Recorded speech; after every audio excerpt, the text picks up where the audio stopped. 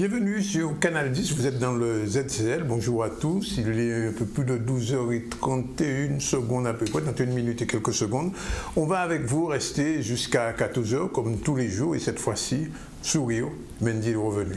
c'est tant mieux pour nous, c'est tant mieux pour vous aussi. On est en direct sur RHT, Radio Haute Tension, euh, depuis Capester et depuis un petit peu toute la Guadeloupe. Vous l'entendez, vous nous entendez. On va tout de suite vous dire euh, nos invités aujourd'hui. On aura tout à l'heure Claude Guillot. Claude Guillot, il est dans l'actu depuis vendredi, mais pas seulement.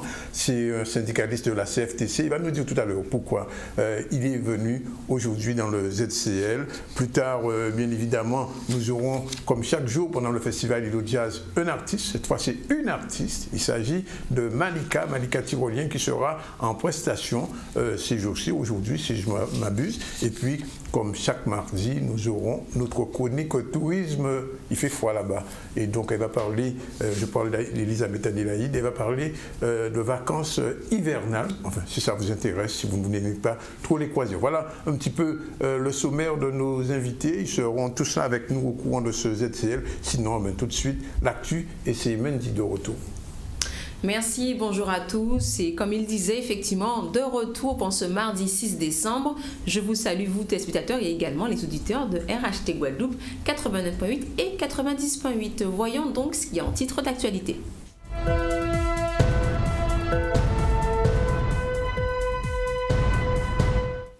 Et dans le prolongement de la consultation publique et des ateliers thématiques sur les schémas régionaux organisés par la collectivité régionale, eh bien, M. Harry Chalus a présidé hier la première conférence territoriale de l'action publique territoriale pour une rationalisation de l'action publique. Et également inscrite parmi les priorités gouvernementales, la lutte contre l'insécurité routière est une préoccupation quotidienne sur notre territoire. Et bien, l'auto-école Patrick Desabîmes organisait donc plusieurs journées de sensibilisation. Et enfin, nous verrons ces 5 km à parcourir à son rythme sans chrono. Eh bien, c'est une action aussi solidaire et dans les enfants hospitalisés. Je parle évidemment de la Bubble Day qui est aussi un festival avec DJ en live, le tout avec des bulles. Mais nous le verrons tout à l'heure. Euh, et j'ajoute à ce que disait Mendy, une information ZCL-CCN, euh, c'est la Chambre régionale des comptes qui vient de sortir son rapport et qui a épinglé, bien évidemment, on n'est pas surpris, la ville de Pointe-à-Pitre, 24 millions de déficit. Nous aurons l'occasion d'y revenir puisque nous sommes pratiquement les premiers à vous informer sur cette situation catastrophique pour la ville de Pointe-à-Pitre. Sinon, ben, on va parler euh, de collectivité, mais sous un autre, un autre angle. C'est avec euh, euh, Claude Guillot, bonjour. Bonjour. Vous êtes syndicaliste de la CFTC on vous considère comme une espèce de zoo euh, dans euh, le paysage administratif de la Guadeloupe, puisque euh, ce week-end, toute la Guadeloupe a entendu deux affaires qui ont un petit peu défrayé la chronique. je veux parler de l'affaire Bajazé, Sigmund Bajazé, qui était recruté par sa mère, qui est mère d'ailleurs de Sainte-Rose, et aussi l'affaire Anselme, la fille de M. Anselme, Laure Anselme, si je m'abuse, était aussi recrutée au Conseil général, conseil général enfin ce qui est devenu au conseil départemental. Sauf qu'il y a un petit trémolo. Euh, d'après ce que j'ai lu dans un communiqué, euh, Madame euh, Anselme a été recrutée normalement, c'est-à-dire qu'elle a subi, elle a passé un examen et elle a pu un examen territorial et auquel elle, a réussi. Et donc, est-ce que ça empêche qu'elle soit employée de la collectivité? Alors tout d'abord, avant de, répondre à ces deux questions, permettez-moi, Monsieur Zandronis, de saluer vos téléspectateurs, les téléspectateurs de Canal 10, et euh, d'avoir une pensée émue pour son fondateur. Je veux parler de notre ami Rodriguez, Feu Rodriguez, et euh, aussi de vous féliciter des 30 années d'existence de, de ce média en Guadeloupe qui a commencé euh, de manière vraiment euh, artisanale et qui aujourd'hui, euh, j'ai fait mon enquête en entrant ici, c'est une déformation. j'ai appris que vous avez à peu près 10 salariés, vous utilisez 10 prestataires, c'est quand même 20 personnes peu ou prou que vous avez, que vous faites vivre dans, dans ce petit pays de Guadeloupe et qu'il s'agit quand même d'une performance à retenir dans notre belle Guadeloupe. Et surtout, j'aimerais, au cours de, ces 30, de ce 30e anniversaire, y mettre un vœu que vous ne perdiez jamais l'esprit pionnier qu'il y avait au départ de Canal 10. Si vous oubliez cette période-là, vous perdriez votre âme et l'âme de ce, de ce média qui a quand même fait... Euh, son travail dans ce paysage audiovisuel de la Guadeloupe. Alors ah, vous dites qu'il a fait ça et qu'on ne fait plus alors Non, il ne faut pas perdre cet esprit. ah d'accord. C'est important, le, côté euh, pionnier que vous aviez à l'époque, euh, il faudrait même euh, profiter des 30 ans pour remettre ça, pour remettre une couche. Et je, serai, et, je serai bientôt à la retraite, je peux, je peux aussi porter ah, ma pierre. Oui, oui, oui, je porterai ma pierre contributive constitutive constitutive, si vous voulez, à l'édifice, parce que dès qu'il y a quelque chose d'intéressant de nature à élever le niveau de conscience de cette population, euh, j'y prendrai ma part. Je suis un, citoyen quand même euh, actif. On vous remercie. Madame Rodriguez qui, est à l'écoute, euh, c'est que son père lui a transmis le flambeau et donc c'est la raison pour laquelle Canal 10 est devenu une institution, il faut le dire, dans le paysage audiovisuel, se maintient. Je pense que ça va se maintenir. Tout à fait. Merci à vous de ce que vous avez dit. Alors, pour revenir à notre sujet, vous m'avez interrogé sur deux affaires. Il s'agit de l'affaire euh, Sigmund Bajazé et de l'affaire de, Laurent Selm. Ce sont deux cas euh, totalement différents. Dans le premier cas, celui de Laurent Selm, c'est une fille, vous l'avez précisé, vous avez raison, qui est lauréate du concours interne, me semble-t-il, d'attaché territorial ah, de 2013 ou 2012, enfin peu importe la date. Alors, il se trouve que le tribunal a donc euh, annulé cette décision du président du Conseil général, puisque c'était à l'époque ce nom-là ça portait. Et donc, euh, sur un principe qui est quand même un principe fondamental, ce n'est pas un détail, hein.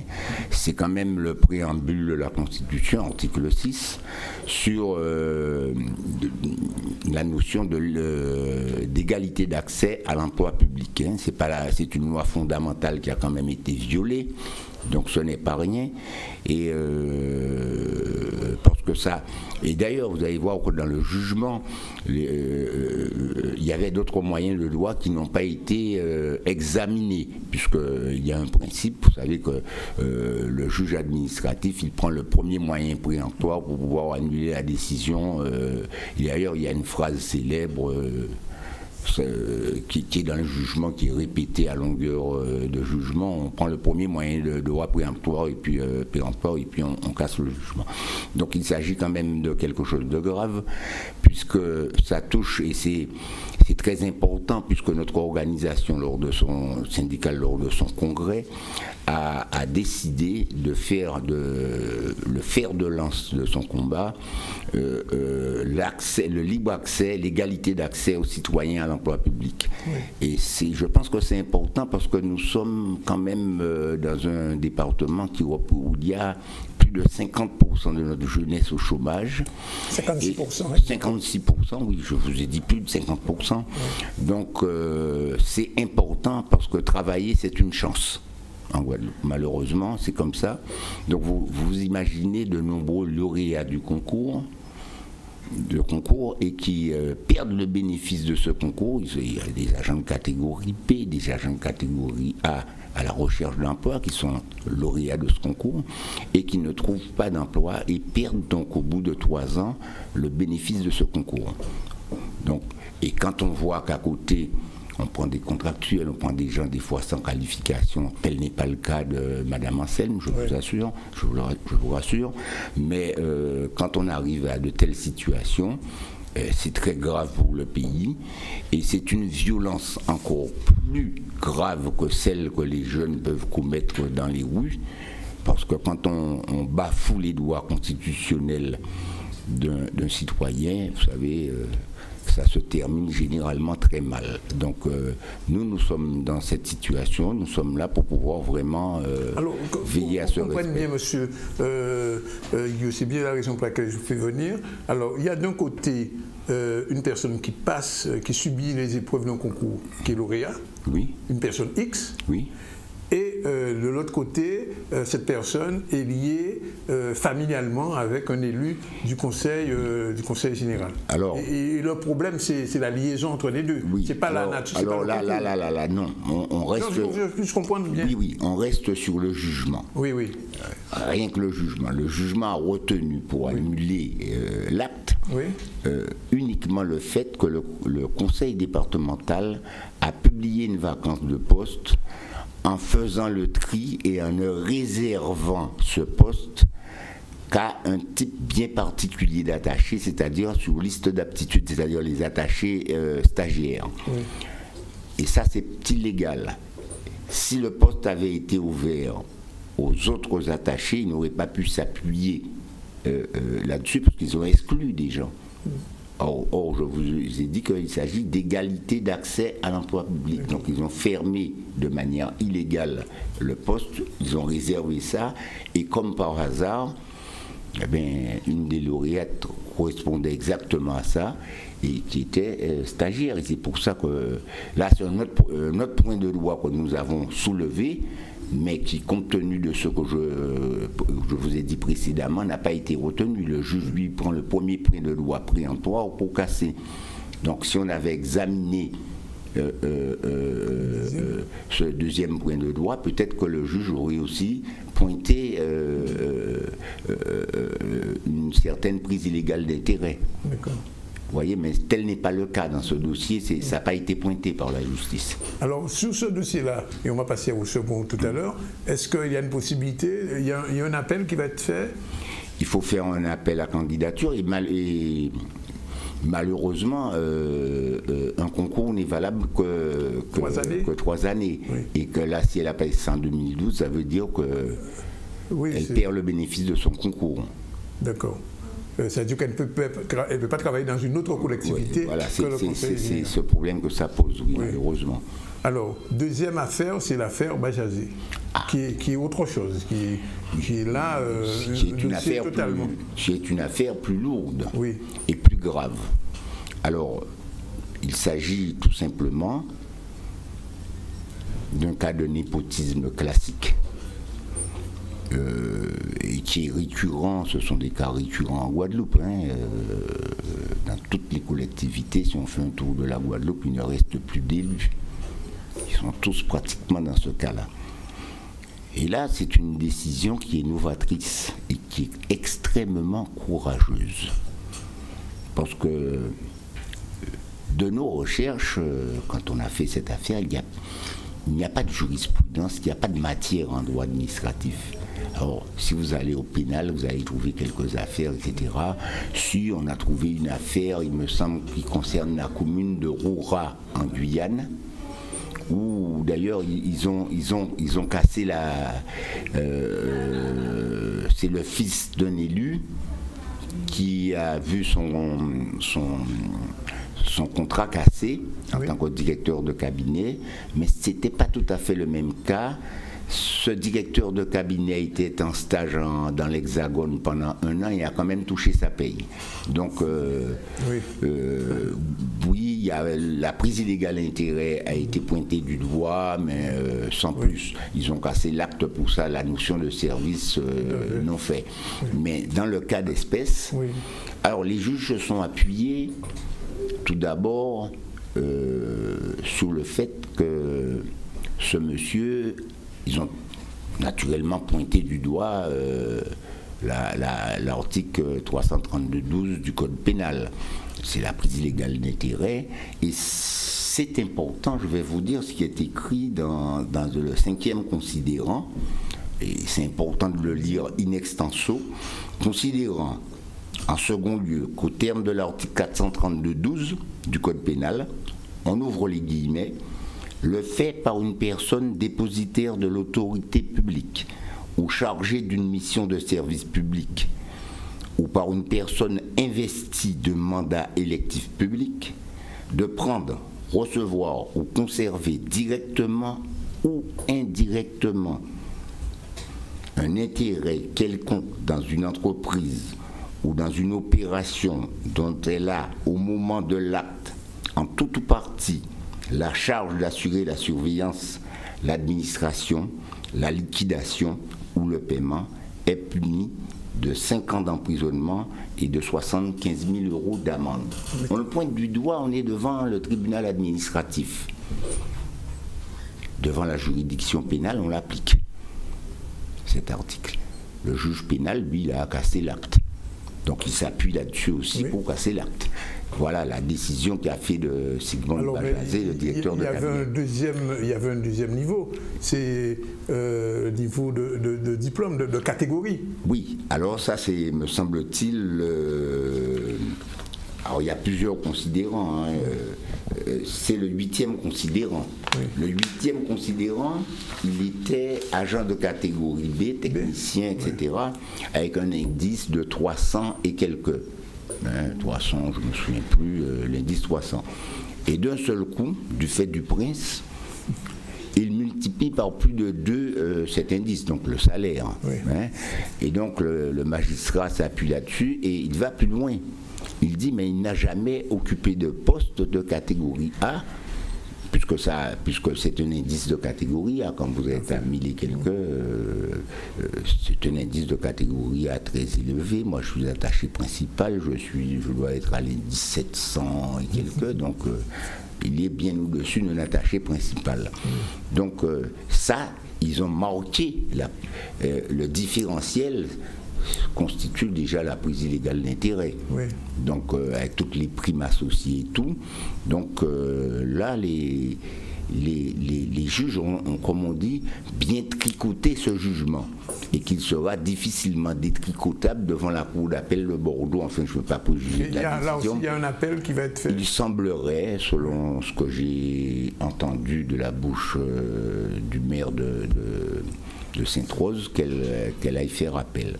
Donc euh, oui. Euh, Alors, euh, j'ai dit tout à l'heure de façon humoristique que vous étiez un petit peu le, le du tribunal administratif, puisque vous avez mené beaucoup d'actions. Vous-même, vous avez été, bon, à l'époque même stigmatisé. Enfin, on se souvient des actions à l'époque de Gilo sur, vous, avez dit tout à l'heure, vous allez partir bientôt à la retraite, c'est bien ça? Oui. Combien d'actions vous avez déjà menées de ce type-là? Euh, l'affaire euh, j'ai déjà dû subir quatre mises en examen. Euh, enfin, vous êtes journaliste, vous êtes certainement passé par cette phase de. Vous savez, le, code pénal français a restreint de manière drastique hein, la liberté d'expression en France. Euh, vous êtes journaliste, vous êtes mieux placé que moi euh, euh, pour savoir ce que c'est que. Bah, tant mieux pour vous. Mais sachez qu'aujourd'hui, la France est devenue un pays, malheureusement, où Victor Hugo ne pourrait pas écrire ce qu'il a écrit sous Napoléon le Petit. Euh, Voltaire n'existerait pas. Ni même Émile Zola Ni même Émile Zola. Euh, aucun. D'ailleurs, le, code pénal a tué le pamphlet. Qui était euh, quand même, qui était quand même. d'expression. extraordinaire. le pamphlet est mort. Barras, Maurras, tous ces gens-là, ne peuvent plus exister aujourd'hui. Heureusement quand même que les choses sont en train de changer grâce pour une fois à l'Europe, la Cour de justice européenne. Vous avez vu dans l'affaire euh, euh, qui a opposé le président Sarkozy à l'époque avec un citoyen qu'il avait un peu alpagué euh, sur son parcours. Euh, du Non, non, non, non, non. C'était une histoire euh, euh, offense au président de la République et la Cour de justice européenne a, il a été condamné en France et quand c'est arrivé au niveau Cour de justice européenne, il a été blanchi. Donc euh, oui, c'est très souvent la justice, la Cour de justice européenne qui vole au secours du citoyen français. Il faut le noter, c'est aussi l'Europe a ses mauvais côtés, mais aussi ses bons côtés à ce niveau-là en tout cas. Et dans l'affaire justement qui m'avait opposé à Jacques Gillot, euh, c'est une affaire de diffamation publique sur le mot malversation. Vous avez vu que les juges ont dû consulter cinq euh, dictionnaires depuis de 1932 jusqu'à aujourd'hui pour définir la malversation. Et donc, euh, c'est un mot qui avait été choisi bien avant l'émission et avec beaucoup de précautions que je, dors avec un code pénal sous mon coude depuis. D'accord. et je vous conseille d'en faire autant. Hein. ça sert toujours. Oui. oui, ça sert plutôt. Donc il faut faire attention à ce qu'on dit et comment on parle. Donc je suis, je fais très attention parce que quand on a été quatre fois mis en examen pour diffamation publique, euh, on, fait, obligatoirement attention, ça change l'individu, ça change la manière de parler, on fait très attention à ce qu'on dit euh, et ne pas dire n'importe quoi, parce que c'est comme ça. Mais enfin, euh, il y a quelque chose que je regrette. C'est que les élus, quand ils ont des, des, difficultés, rencontrent des difficultés, tant avec un journaliste, avec un syndicaliste, et eh bien tout de suite, vous êtes soupçonné de faire de la politique. Vous êtes soupçonné d'ailleurs euh, d'être partisan, c'est ça D'être partisan. Et vous ne l'êtes pas, M. Guillaume Mais non, quand on est président d'une organisation syndicale, et c'est ce qu'il faut faire passer comme message, un dirigeant syndical, il n'est pas membre il n'est pas responsable d'un parti politique. En tant que président, euh, j'ai chez moi euh, dans mon conseil syndical, je ne parle même pas des militants, hein, dans le conseil syndical, j'ai des gens qui sont au Parti socialiste, j'ai des gens qui sont à droite, j'ai des nationalistes, euh, on a des anards aussi, donc il y a une seule, seule mouvance, il y a une seule mouvance qu'on n'a pas encore et, ça posera problème, c'est la mouvance du Front National. Donc voilà la situation quand on est. Alors la dernière question que je vous posais, c'était là Est-ce que euh, de, toutes les actions que vous avez menées, votre bilan, comme on dit, est globalement positif ou globalement négatif? Vous avez plus gagné ou plus perdu d'actions menées euh, au tribunal administratif? Eh bien, Aujourd'hui, on peut dire qu'il est à noter une chose, c'est que le tribunal administratif est un peu plus rapide. Avant, ça mettait 3, 4, 5 ans. Oui, une affaire, et, et, maintenant, euh, ils sont de plus en plus performants, les affaires vont plus vite et on souhaite qu'elles aillent encore plus vite. Euh, mais ce n'est pas, par exemple, le cas au pénal. Hein. vous pouvez toujours déposer plainte. Euh, moi, moi j'ai été conduit en, diffamation, j'ai dû dépenser de l'argent, mon organisation syndicale a dû dépenser de l'argent, payer un avocat, payer des huissiers, etc. Et euh, donc on en a eu pour notre Vous avez pris un avocat de la Guadeloupe, vous? Ah oui, tout à fait. Ça, vous, vous pointez un autre problème du doigt. Chaque fois que ces élus ont des problèmes avec, euh, rencontrent des difficultés, sont conduits à signer en justice, ils courent tous en France, et ça je tiens sur vos antennes, et là je prends mes responsabilités, à faire une petite plaidoirie quand même pour le barreau de Guadeloupe, parce que ça me pose un problème de fond. Je ne suis pas nationaliste euh, particulièrement, mais enfin, euh, si quand même, euh, comme tout Guadeloupéen, oui, je suis Guadeloupéen avant tout et nationaliste Guadeloupéen. qu'on vient à dire que celui qui aime son pays. Donc on défend les intérêts guadeloupéens, tout à fait.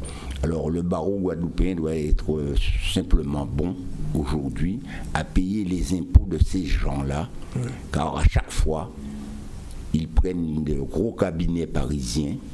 Là, dans l'affaire Bajazé, il faut croire que pour Madame euh, Bajazé et son fils, euh, qui n'a pas d'avocat en Guadeloupe, ils ont pris un, avocat, euh, la Silas Damas, qui doit être à Lyon, 77 avocats. ils n'ont pas fait mieux que avocat guadeloupéen, je vous l'assure, M. Zandrounis, n'importe quel petit avocat de chez nous aurait fait autant. sinon mieux. Voilà. Donc, euh, je vous rassure quant au niveau du barreau guadeloupéen. On, le sait parce que nous avons ici euh, une chronique judiciaire, ou juridique chaque jeudi, et elle est assurée par deux avocats vraiment guadeloupéens, hein, Maître Bernier et Maître euh, Calvert. Dernière question avant de se quitter. Il est 12h55 minutes, M. Guillaume. Est-ce que vous avez encore des affaires sous le coude? Alors là. Sans trop, dévoiler, alors, enfin. Alors, honnêtement, il y a des affaires en cours beaucoup d'affaires en cours, euh, je ne sais pas, peut-être une soixantaine ou peut-être 80, mais il y en a encore d'autres qui vont arriver. Je vous ai promis un tour de la Guadeloupe de toutes ces affaires de, de parentèle hein, et d'amis politiques. Je dois vous signaler que dans certains cas en Guadeloupe, nous, parce que le, système, on, ne se voile pas la face, il s'agit en réalité de corruption. Il faut qu'on appelle un chat par son nom. Alors, nous avons dans nos bagages, dans nos dossiers, euh, beaucoup de cas de parents embauchés ici et là, et ça va être traité euh, avec impartialité, qu'il soit de gauche, de droite, d'en haut, du bas, du centre, de tout ce que vous voulez, on va traiter ces problèmes-là. Il y a un autre souci, c'est que le système, les élus guadeloupéens ne sont pas, sont pas bêtes, hein, ils sont ingénieux et inventifs. Il y a maintenant ce qu'on appelle des pactes de corruption. C'est-à-dire que je suis maire de la commune d'X. Et mon fils est embauché dans la communauté d'Aglo et moi j'embauche le fils du président de la communauté d'Aglo dans, dans, dans ma commune en échange. Nous avons des cas comme cela, nous allons faire notre travail, nous allons le signaler au procureur de la République parce que ça relève du pénal. Et les peines sont doublées parce qu'il y a association de malfaiteurs. Et donc oui, ce travail sera fait maintenant. À la justice à prendre ses responsabilités, mais je note et je déplore que chaque fois qu'il s'agit d'un syndicaliste, et on l'a vu dans l'affaire Nomertin, que ça tombe tout de suite. Vous savez, euh, le pauvre Nomertin, il en a pris plein la tête. C'est 56 000 euros, j'ai bien entendu, pour une question de diffamation. Et je crois qu'il a mal défendu son dossier. Il, aurait fallu qu'il fasse une offre de preuve. C'était facile. Euh, il n'a pas pris ça au sérieux. On ne prend jamais ça au sérieux. Mais il faut savoir que le pénal, c'est une euh, juridiction par définition répressive et quand on est au pénal, on a intérêt, comme on dit, à bien serrer la machine judiciaire. Voilà. Donc, ce que je peux, ce que je peux déplorer, c'est que quand il s'agit de casser un syndicaliste ou un journaliste, ça ira très vite. Mais quand il s'agit de, plaintes fondées en droit, eh bien, contre un élu, eh bien, ça reste dans les placards du procureur et ça ne bouge pas. Merci, Monsieur Guillaume, d'être venu euh, faire ce témoignage, vous nous expliquer ça, en espérant que nos téléspectateurs ont bien compris. De toute manière, si vous avez pris euh, cette émission en cours, vous aurez la possibilité de le voir en replay ce soir ou alors sur le www.zcl.tv. On a euh, juste le temps de développer un premier titre très rapidement, puisque Zibouis ne vous regarde pas, on va profiter. alors, on va débuter avec cette citation Je suis candidat à la présidence de la République. Eh bien, oui, c'est officiel. Manuel Valls s'est lancé dans la course à la présidentielle et donc a annoncé les premières pistes de son programme. Le nouveau candidat à la primaire socialiste a annoncé donc qu'il comptait quitter ses fonctions de Premier ministre. Donc revenons rapidement sur son discours de candidature.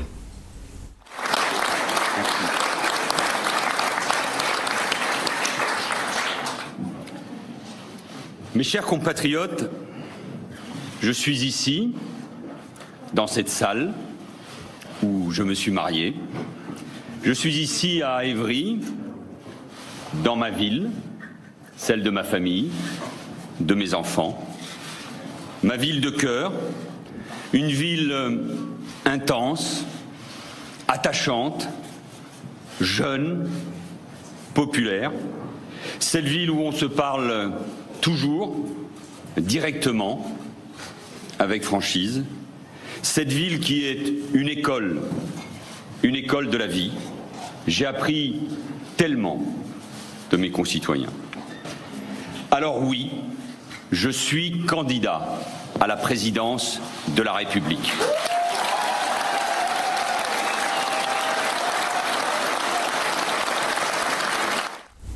De retour donc sur le plateau du ZCL, on va tout à l'heure revenir avec l'actualité qui vient de démarrer, comme vous avez pu le voir, avec donc l'annonce de la candidature donc de Manuel Valls à la présidentielle. On entendra tout à l'heure les réactions de Madame Josette Borel-Lincertin, présidente donc du conseil départemental. À tout à l'heure.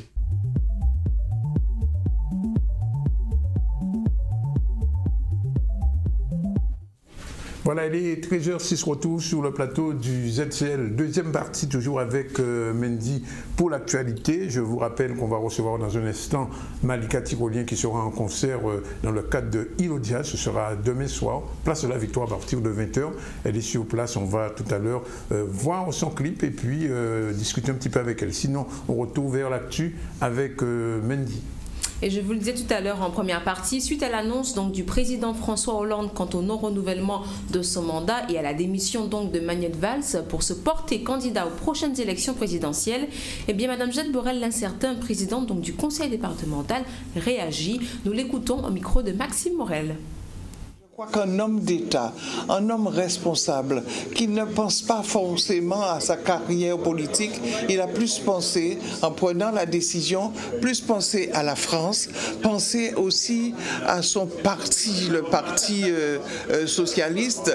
Euh, c'était certainement très douloureux à l'intérieur de voir les, camarades se, se déchirer.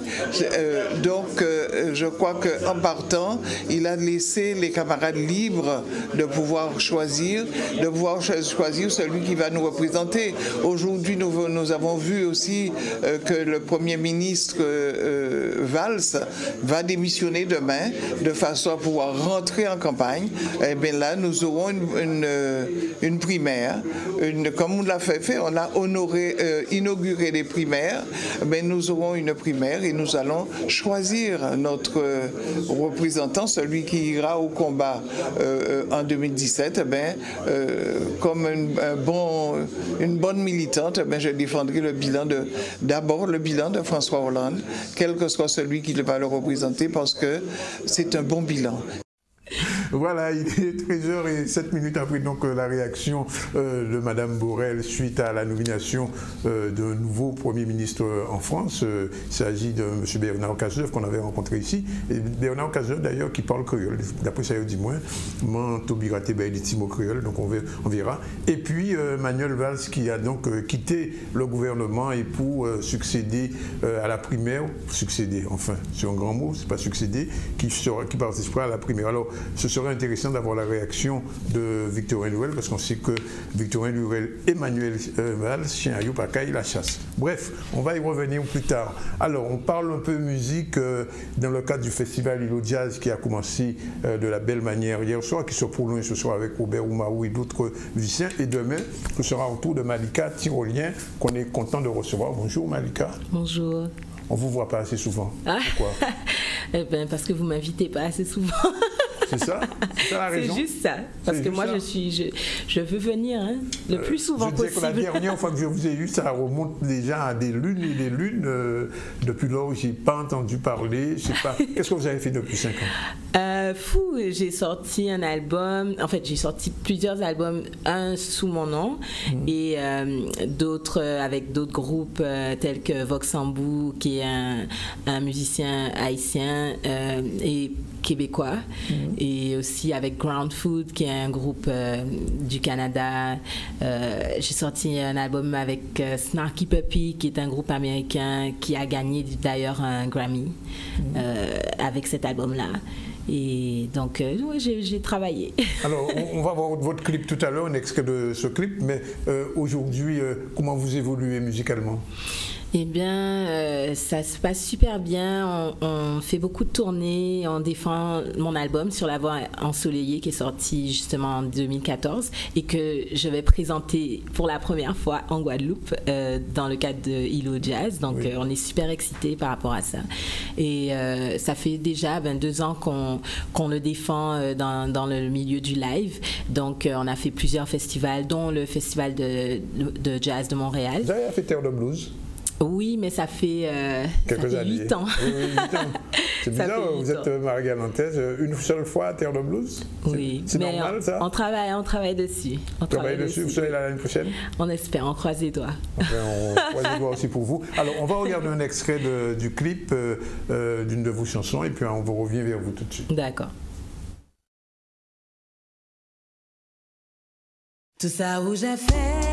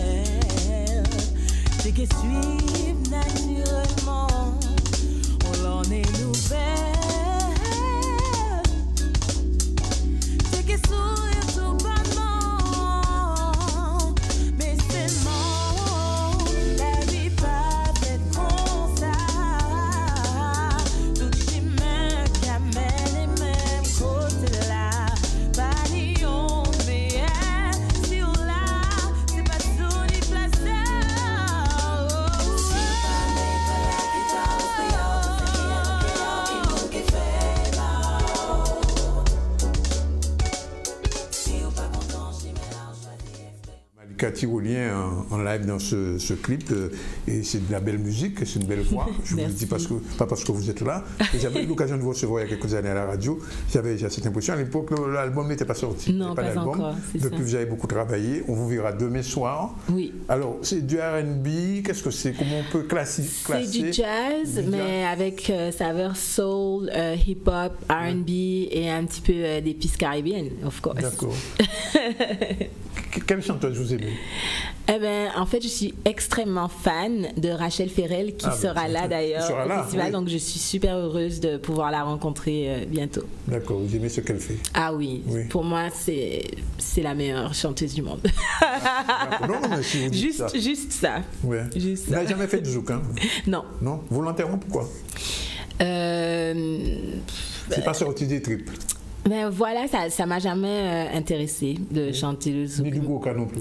Par contre, le Goka m'intéresse. Là, en ce moment, je fais euh, un retour euh, aux sources. Là, j'essaie de, de vraiment m'imprégner du Goka pour pouvoir écrire, faire quelque chose dans ce ouais, sens-là. faire quelque chose dans ce Et sens-là. vous faites- votre carrière, vous la faites plutôt à l'extérieur qu'en Guadeloupe. Oui, j'habite en fait euh, à Montréal Oui, depuis près de 15 ans maintenant. D'accord. Donc, euh, on essaye vraiment de, de, de travailler de là, mais pas nécessairement euh, uniquement au Canada. On, on est en train de travailler beaucoup dans l'international en ce moment. On revient d'une tournée en Inde. Avant ça, on était en Chine. Euh, on bouge beaucoup euh, avec le projet, justement, qu'on présente un peu. On présente euh, la musique de l'album un peu partout. Question de Mandy. Non, parce que euh, c'est c'est marrant, il a posé la question quel est votre artiste préféré, mais moi en écoutant, ça m'avait pensé- fait penser à Lauryn Hill. Alors j'espère que vous l'aimez Ah bien. oui, ah bien C'est sûr. vrai, c'est vrai. Ah oui, oui, oui. D'accord. Lauryn Hill. euh, mais en fait, euh, j'aime tellement d'artistes. C'est toujours une, une question compliquée à poser parce qu'après, il y a tout un éventail d'artistes et c'est pas nécessairement dans les styles qu'on pense. Donc, euh, de Lauryn Hill à, à Busta Rhymes, à LL Cool J, à Nirvana, euh, j'aime beaucoup, beaucoup d'artistes. Et en plus, il y a un très beau festival euh, à Montréal. Oui, le année. Festival de jazz de Montréal. D'ailleurs, on l'a fait euh, cette année. Cette année? Oui. Ouais. Et j'imagine que là-bas, euh, vous commencez à être connu. Je sais pas si on peut dire ça. Mais oui, allez, soyez pas modeste, quand même, même. Ouais, je, je ne sais pas. Vous avez- On, on saura ça de toute manière. Quand je suis au Canada, ça. je vais poser la question. Voilà, exactement. En tout cas, on vous donne rendez-vous, euh, vous qui nous regardez, qui nous écoutez, euh, si vous voulez savoir un peu plus sur euh, euh, la chanson et ce que fait euh, Malika, c'est demain soir sur la place de la Victoire, 20h. Yes, Yes, oui. exactement. C'est en anglais, c'est un petit peu en anglais. Oui, pardon. Ouais, yes, C'est le côté bilingue de. Montréal. Des fois, je, je suis arrivée hier, donc I euh, je me suis pas encore. mean. Ok. Yes, See you next tomorrow. Bye bye. Euh, see you soon then. Ok, il est 13h17 minutes et on revient à l'actualité moins, moins souriante que Malika. Mais enfin, il faut, le faire, c'est Mendy. Et oui, on continue l'actualité. Je vous le disais en titre, dans le prolongement de la consultation publique et des ateliers thématiques sur les schémas régionaux organisés par la collectivité régionale, et ça depuis octobre 2016, eh bien, le président Harry Chalus a présidé la première conférence territoriale de l'action publique territoriale pour une rationalisation de l'action publique. Il s'agit donc d'une instance de concertation instaurée par la loi MAPTAM, modernisation de l'action publique territoriale et d'affirmation des métropoles. À l'ordre du jour de cette réunion, des thèmes de coopération qui s'avèrent cruciaux pour notre territoire, avec entre autres la gestion de l'eau et des déchets, la prévention de la délinquance la sécurité, la présentation des schémas régionaux, en particulier le schéma régional de développement économique d'innovation et d'internationalisation. Mais on fait le point avec Maxime Morel. Première fois, le département, la région, les collectivités, les EPCI ont eu l'occasion de se rencontrer pour débattre de certain nombre de dossiers. C'est ce qu'on appelle la conférence territoriale de l'action publique. Nous avons débattu sur le schéma intéressant, nous avons débattu sur les problèmes du CIVAD, des déchets, nous avons débattu sur le problème de l'eau. Et sur le problème de l'eau, j'avais fait une proposition, je vais la renouveler le 15, qui a été à travers cette conférence territoriale de créer une commission sur les problèmes de l'eau. Parce qu'on parle uniquement de l'eau potable, on oublie les eaux usées, on oublie les eaux d'irrigation, on oublie les eaux pluviales. Cap Excellence a monté une structure. Aujourd'hui, j'ai entendu que euh, les communautés du Nord Grande Terre et d'autres veulent monter un syndicat mixte avec le SIAGL. Notre rôle, c'est d'accompagner, comme on le dit. Il peut y avoir des passerelles de main entre ceux qui ont monté leur structure. Ce qui est important pour moi, c'est que nous puissions donner de l'eau aux Guadeloupéens. Je n'ai jamais eu de problème d'eau chez moi, car quand j'étais maire, j'ai fait plus de 90% de travaux, 24 millions. Aujourd'hui, j'ai des Guadeloupéens qui souffrent. Le département euh, est prêt, la région, nous sommes prêts à accompagner ceux qui sont prêts à régler ce problème d'eau en Guadeloupe. Aujourd'hui, nous avons des touristes qui viennent dans ce pays. L'eau, c'est important. Les déchets, pour nous, c'est important. Si on a un- une région, un département propre, agréable, nous allons créer de la richesse et de l'emploi. Donc, aujourd'hui, je le dis, il faudrait que tout un chacun prenne ses responsabilités. Moi, je dénoncerai ceux qui ne seront pas prêts à avancer dans l'intérêt des Guadeloupéens. Des problèmes cruciaux de la Guadeloupe nécessitent que euh, des élus euh, responsables soient autour d'une table, débattent en toute liberté, je crois, et en toute transparence eh bien, des problèmes que nous, que nous aurons et que nous devrons gérer. Le problème des déchets, le problème de l'eau, le, problème aussi de, la loi Notré, puisque vous savez, par exemple, je vais transférer le, transport interurbain à la région au 1er janvier, le transport scolaire au 1er juillet 2017. Donc, euh, c'était un moment important, un moment, euh, je dirais, euh, indispensable. Inscrite parmi les priorités gouvernementales, la lutte contre l'insécurité routière est une préoccupation quotidienne sur notre territoire et la généralisation de certains comportements délictueux tels que le téléphone en voiture notamment a considérablement fait reculer la sécurité routière notamment pour les piétons. Et bien à cet effet, l'auto-école Patrick Desabîmes a organisé plusieurs journées de sensibilisation avec des ateliers et des simulateurs de voitures notamment également de motos. Un reportage de Lévi Moradel. Je n'ai pas tout fait, je vise euh, en partie la sécurité routière parce qu'il y a un certain nombre de tués en Guadeloupe, un petit département, euh, on compte euh, moins de 400 000 habitants il y a, il y a plus de 40 tués, donc ça fait beaucoup. Hier, j'ai euh, reçu euh, les lycéens, donc on a reçu plus de 100, 100, euh, élèves. En fait, il y a plusieurs ateliers, notamment les pompiers, la sécurité routière. Il y a aussi également un inspecteur qui parle des que ça cause un gros problème en Guadeloupe pour le placement. Ensuite, il y a aussi un psychologue qui parle sur la partie psychologique même du conducteur. Et aussi, il y a des euh, simulateurs voitures, simulateurs moto. Les agents vulnérables comme les motards, les piétons, ils sont souvent touchés par euh, les accidents. Donc, euh, on a jugé utile d'organiser cette journée en, insistant sur ces thématiques. L'introduction du psychologue à la sécurité routière n'est pas neutre parce qu'au niveau des études, il apparaît que ce sont les attitudes et comportements des conducteurs qui posent problème. Donc, euh, on a estimé que passer par le biais de la psychologie, au niveau de l'analyse des situations, de la réflexion par rapport euh, aux conducteurs, euh, devenait important. Euh, il faut savoir qu'en Guadeloupe notamment, le nombre de tués euh, par an est très très important, le nombre de blessés graves. Et le souci en fait, c'est de voir si, si on agit sur ce qui est de l'ordre du raisonnement, de l'analyse, de la réflexion euh, du conducteur, on peut arriver à réduire ce nombre de- d'accidentés et de blessés graves. Les conducteurs ne sont pas suffisamment sensibilisés. Euh, c'est vrai que, bon, on pourrait dire que si on passe par le biais des stages de sensibilisation, c'est fait, mais ces stages-là sont payants. Et, c'est payant, mais parce qu'on a fait des infractions. Il aurait été souhaitable euh, vraiment que des stages soient mis en place. euh, bon, la formule, je ne sais pas, pour qu'un maximum de personnes puissent être assis ensemble et réfléchir sur comment nous sommes au volant, comment nous sommes sur la route, de façon à ce qu'il y ait une amélioration euh, tangible euh, sur le plan de la sécurité routière en Guadeloupe. Bon appétit si vous êtes à table. Le ZCL revient avec toute l'actualité tout à l'heure après une courte page de publicité.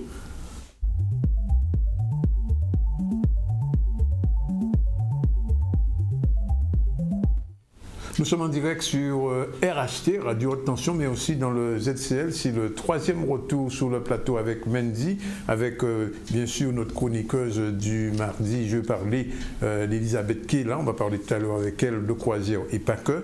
Pour l'instant, rapidement, on revient sur les infos. Avant, je rappelle que euh, la, la Chambre régionale des comptes a épinglé la ville de Pointe-à-Pitre 24 millions de déficit. Ça va être très chaud pour les euh, contribuables euh, dans les jours qui viennent.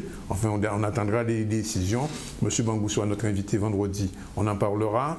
Il faut dire aussi que euh, le tribunal administratif a aussi condamné la ville de Bémao, une série de, commerçants, dont le centre d'Estreland, pour l'ouverture du dimanche. Vous vous souvenez, depuis 2014, l'UGTG avait fait appel de la décision. Ça y est, la décision est tombée. Elido Mota viendra expliquer demain euh, ce qui s'est passé. Sinon, retour sur l'actu plus, plus froide, on va dire, celle de Mendy. Plus froide façon de parler. Façon de parler, on va faire un petit rappel des titres. Et dans le prolongement de la consultation publique et des ateliers thématiques sur les schémas régionaux organisés donc par la collectivité régionale depuis octobre 2016, eh bien, le président Harry Chalus a présidé la première conférence territoriale de l'action publique territoriale. Et également inscrite parmi les priorités gouvernementales, la lutte contre l'insécurité routière est une préoccupation quotidienne sur notre territoire. Et à cet effet, l'auto-école Patrick Desamis a organisé plusieurs journées de sensibilisation. Et enfin, ces 5 km à parcourir à son rythme sans chrono, c'est une action solidaire et dans les enfants hospitalisés, mais c'est aussi un festival avec DJ en live, le tout avec des bulles. Eh bien, je parle bien de la Bubble Day. C'était euh, ce week-end et il y a eu beaucoup de déchets dans les rues de Jarry ouais. euh, après ce Bubble Day. Mais enfin, ils ont essayé de nettoyer et c'est déjà tant mieux. Sinon, ben, on accueille euh, la Julie Alexandre. J'avais dit Alexandre, Elisabeth. Elisabeth. Pourquoi j'ai appelé Alexandre? Waouh. C'est pas. Elisabeth, Cacher c'est une reine. C'est une reine. Il n'y a que des reines. Alexandra, c'est aussi une reine. Alors, Elisabeth, bonjour. Bonjour, bonjour Alors. Bonjour Mandy, Bonjour. bonjour. à tous les téléspectateurs. Chronique du 6. euh, normalement, c'est la période euh, de, de l'autre côté, De pas chez nous. hein, pas chez nous. Non, pas Chez nous, C'est seulement l'hivernage. hein. C'est un peu différent. Oui, c'est l'hivernage. et donc, un petit peu frais quand même. Oui. Voilà. Et euh, quelques petits soucis peut-être pour quelques personnes, c'est ça Deux petits mots?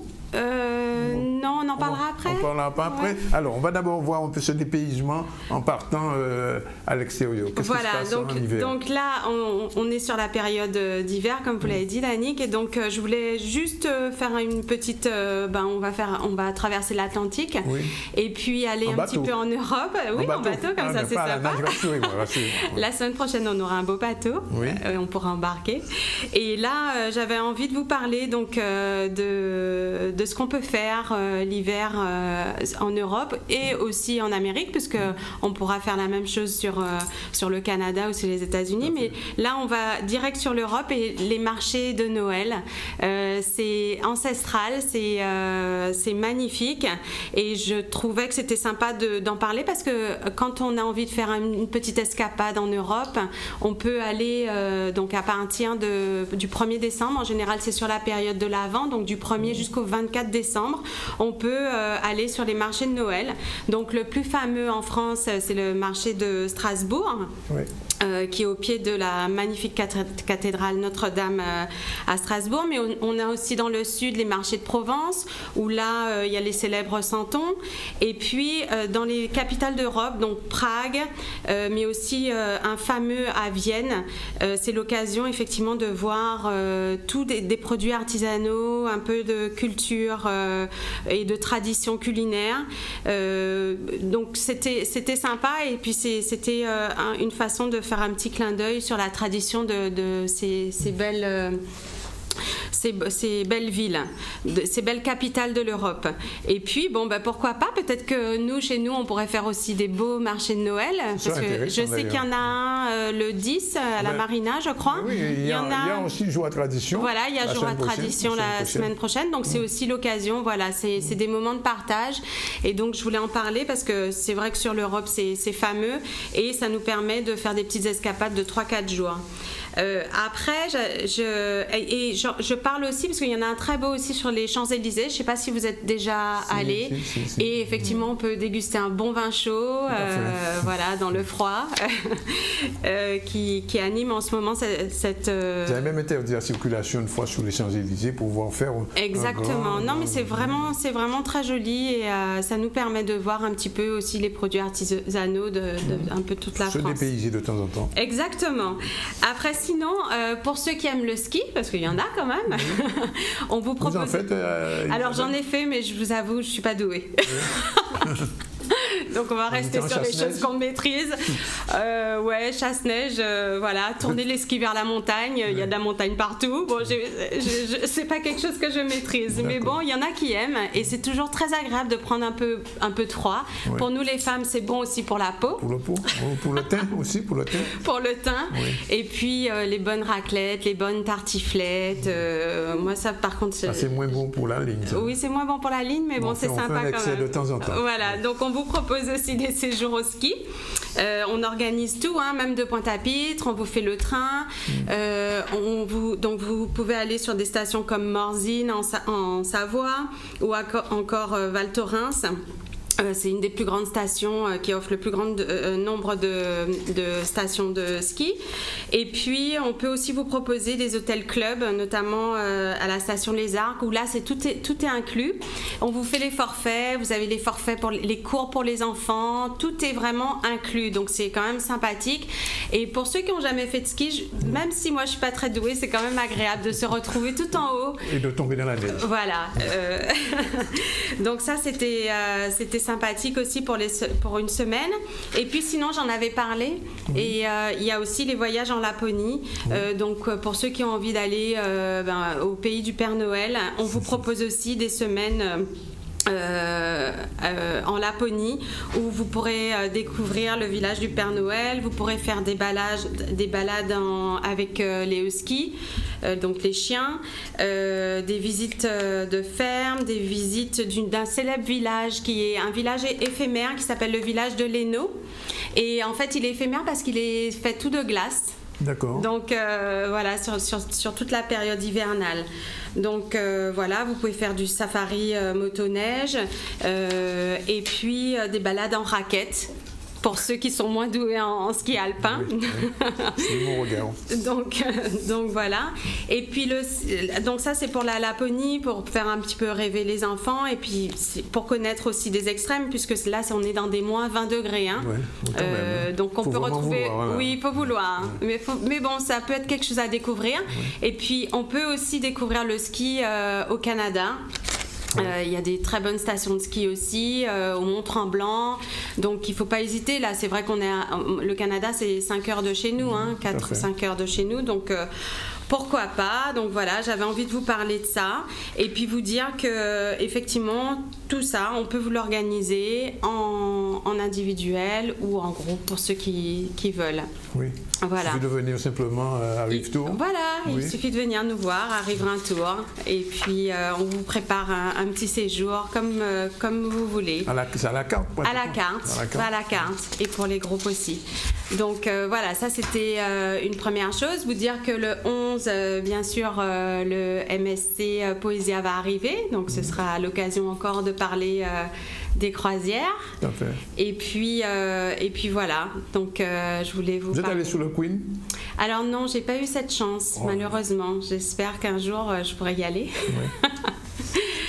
Voilà, Danick. Et puis sinon, euh, si vous me permettez, je voulais juste rappeler aussi euh, notre, notre rôle euh, d'agent de voyage. Justement, que j'avais posé la question parce Ouais. que les gens se posent des questions quelquefois sur les agences de voyage. Est-ce que quand on prend un billet, on paie quelque chose, une destination, l'agence est responsable de vous jusqu'à l'arrivée? Alors, écoutez, nous, en tout cas, notre métier d'agent de voyage, je l'ai déjà dit, je l'ai déjà expliqué, c'est d'apporter notre expertise, notre savoir-faire à nos clients, mais surtout de sécuriser Oui, euh, leur mot, voyage.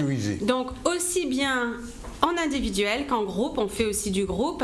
Et là, je, je- je- je le précise, puisque c'est vrai que c'est euh, important de, de le dire, il est important de bien choisir son, agent de, son agence de voyage. Il faut savoir que l'agence de voyage, c'est une profession qui est quand même, qui a des règles, d'accord? On ne devient pas agent de voyage euh, du, jour au lendemain. Il y a une licence Oui. qui est délivrée sur, sur des critères très drastiques, donc j'insiste. Euh, donc ça fait partie d'une des, pré- des préoccupations quand on va dans une agence de voyage et surtout pour les groupes. Il, faut, il ne faut pas hésiter à demander le numéro de licence. C'est quelque chose de tout à fait euh, normal. C'est affiché normalement. C'est affiché, c'est affiché, donc on vous le montre. Et c'est nécessaire pour euh, aujourd'hui euh, exercer ce métier. Donc voilà, ça c'est le Pour ne pas se critère. retrouver en rade quelque part. Pour ne pas se retrouver en rade. Et Dieu seul sait qu'un voyage, on économise pour ça. Voilà. On prend du plaisir. C'est dommage de se retrouver euh, bah, du jour au lendemain sans, sans rien. Donc en fait, voilà, c'est- la première chose. euh, S'assurer en général de la réputation, de la bonne réputation de l'agence. C'est facile. hein. En général, on vous recommande une agence ou voilà. Euh, on- je vous ai dit la licence, donc qui est, qui est délivrée par Atout France, un organisme national. Donc c'est pas n'importe quoi. Vous êtes assuré que l'agence de voyage a des garanties financières, a une assurance. Voilà. Et nous, on est là pour ça. Vous avez aussi des agences qui font partie de, de réseaux. Par exemple, nous, c'est euh, euh, le réseau Tourcom, c'est un réseau national qui nous permet d'avoir des fournisseurs qui sont référencés. Donc ça veut dire qu'en amont, ce sont des fournisseurs qui existent, qui sont bien vivants et qui vous reçoivent et qui voilà. Donc euh, je le dis parce que moi, je, je- c'est vrai Oui, que il y a, y a des cœur- mauvaises nouvelles en ce moment, il faut le dire. Il faut oui, le dire. oui, Euh, et, et aujourd'hui il y a beaucoup d'agences de voyage sur la place, il y en a des très bonnes. ouais. Euh, et il y a le choix. Vous avez les critères, donc je vous les donne. Euh, la licence, c'est indispensable.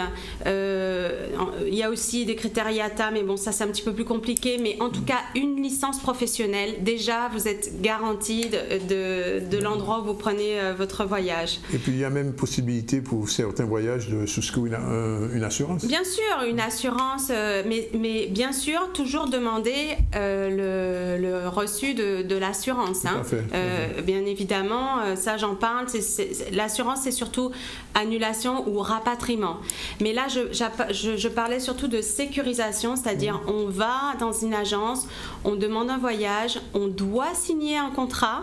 D'accord Oui, oui. On est lié, euh, l'agent est lié euh, au, euh, au client et, et réciproquement. Et donc, c'est un contrat, comme vous allez dans, dans- chez n'importe quel professionnel, vous, a- vous faites un contrat, c'est du service.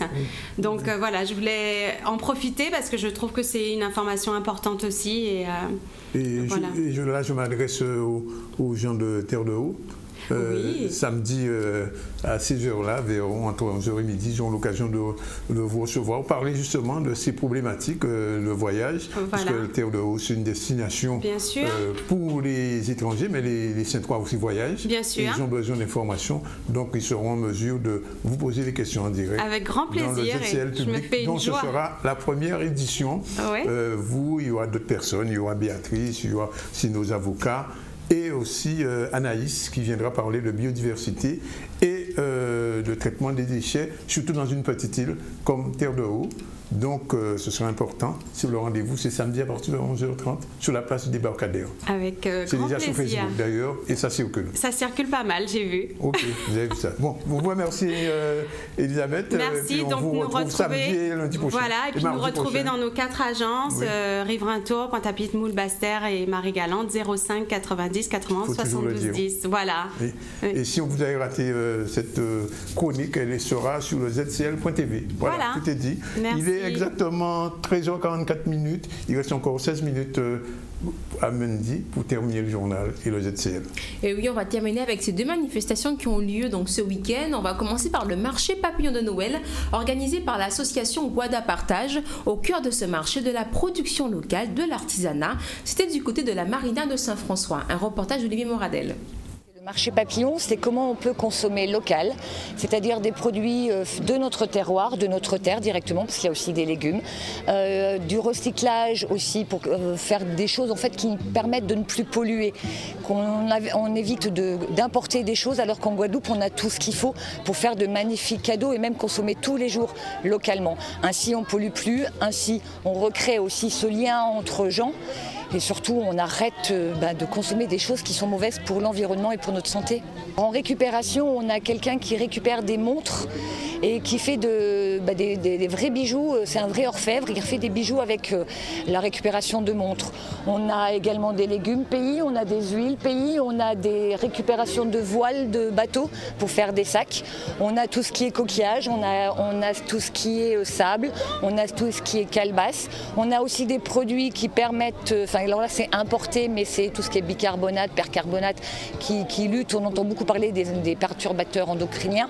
Donc ça, on a quelqu'un qui vend des choses qui sont saines pour permettre justement de faire nos produits d'entretien qui seront bons aussi pour l'environnement et notre santé.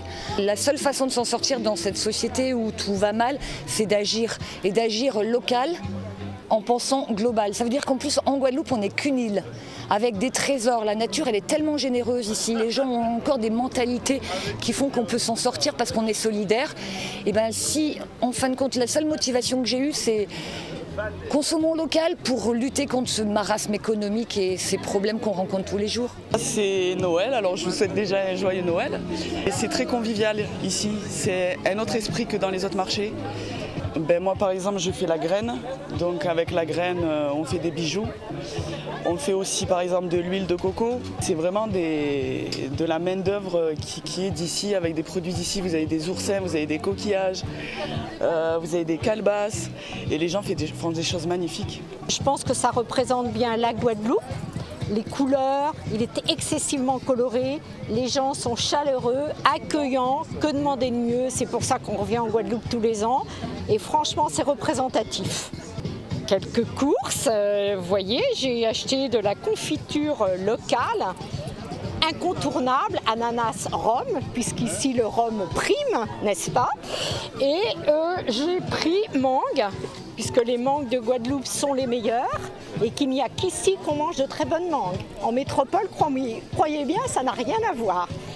Euh, j'ai acheté également un petit bracelet en sable pour avoir un souvenir d'une plage que nous aimons bien des haies. Et il y a énormément de choses pour se faire plaisir à des petits prix. C'est abordable pour tous. J'ai trouvé mon bonheur. Déjà, le fait d'être en Guadeloupe, c'est un véritable bonheur. Aujourd'hui, on propose du marlin fumé qui a été pêché euh, la semaine dernière euh, en Guadeloupe, qui est fumé par mes soins. C'est du produit artisanal, c'est important de, se représenter au sein de la population, des touristes et les, les locaux. La Bubble Day, qu'est-ce que c'est? Eh bien, c'est 5 km à parcourir à son rythme, sans chrono. C'est une action solidaire aidant les enfants hospitalisés, mais c'est aussi un festival avec DJ en live, le tout avec des bulles. Bien, c'était ce week-end, donc le week-end dernier, à Bémao, on retrouve cet événement avec Yanis Pequigno.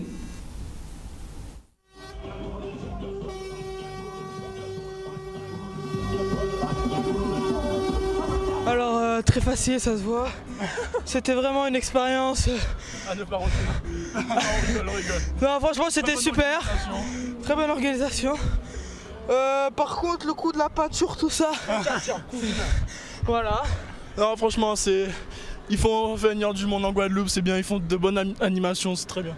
Alors, le concept, il est très simple. C'est une course de 5 km avec une animation à chaque kilomètre, de la mousse, des bulles et après un festival de musique caribéenne de 18h en fait à minuit. L'animation en fait numéro 1, c'était un char, donc on voulait vraiment mettre une ambiance caribéenne. Donc on a fait cela avec DJ Dunkers en fait, en l'occurrence là-dessus directement. Suivi par la suite en animation numéro 2 d'un peu de crossfit. Puis euh, sur le point numéro 3, on a fait du steel band de Port-Louis. Et le dernier point, c'est le char de carnaval en fait qui a ramené tout le monde en fait au village. On était de, de 6 à 50 ans en fait clairement, donc euh, familial, amical, euh, voilà, c'était une question de groupe et d'ambiance directement.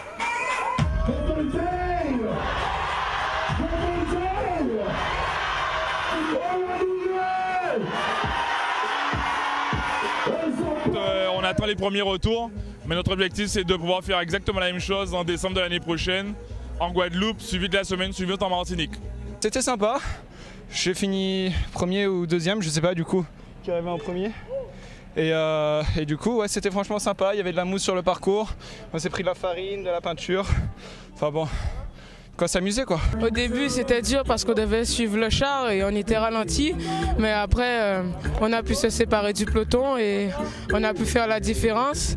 Et c'est sur les derniers petits mètres, euh, ça devient très dur, mais faut tenir.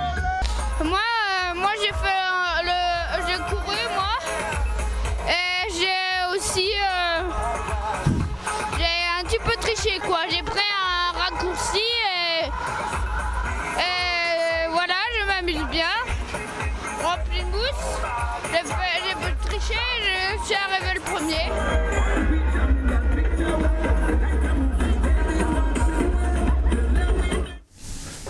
Voilà, et en bref, notez que le, conflit de l'eau n'est pas qu'en Guadeloupe, hein, puisque les agences de l'eau sont au cœur aussi de la politique de l'eau en France. Les missions des agences sont assurées en grande partie, si vous ne le savez pas, pardon, 1600 agents contractuels. Et bien aujourd'hui, le ministère de la fonction publique remet en cause l'avenir de ces agents contractuels de l'ensemble des établissements publics en modifiant le statut dérogatoire des agences de l'eau au profit du droit commun des services de l'État. Les droits et garanties des agents sont clairement attaqués avec une fonctionnalisation au rabais proposée. Eh bien, sachez que le personnel des six agences de l'eau ont appelé à se mettre en grève aujourd'hui par les organisations syndicales E SNE, FSU, CGTFO et la CGC pour donc défendre l'avenir des personnels des agences de l'eau et par conséquent le modèle des agences de l'eau. Voilà, c'était donc l'actualité de ce mardi 6 décembre. Et, j'ajoute, c'est juste un rappel que le tribunal administratif de Basse-Terre vient d'épin- d'épingler la mairie de Bémao, l'association des commerçants de Destréland, le centre commercial d'Estréland, l'hypermarché Carrefour, M. Bricolage, Antillaise, bref, tous ces gens-là qui euh, permettaient euh, l'ouverture du centre commercial le dimanche matin. On aura l'occasion d'y revenir probablement demain avec Elie Domotin en direct dans le 7 Voilà, il est pratiquement 13h51 minutes. On a gagné 9 minutes. Tout à fait. Oui, bon, si vous n'avez pas encore déjeuné, ah ben, comme nous, comme euh, Mendy, moi, ben, allez-y. Sinon, prenez votre dessert et nous, on se retrouve demain à la même heure, Mendy. Midi 30. Et puis cet après-midi à partir de À partir de 16h, pour le de voilà, 16 c'est dit. Pas oublier ça, c'est VCD. Voilà, c'est dit. Alors, c'est parti. Et la réalisation, c'était qui aujourd'hui? C'était Zébris. Ah, Zébris, oui, c'est vrai. Zébris, il est là. Salut Zébris. À demain.